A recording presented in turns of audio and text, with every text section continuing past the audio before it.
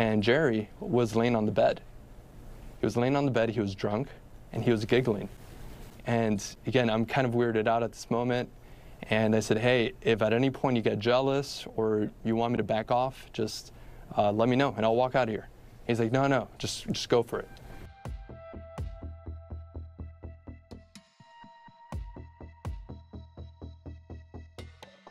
He's just gonna sit in the corner and he just, he just wants to watch and it's his thing.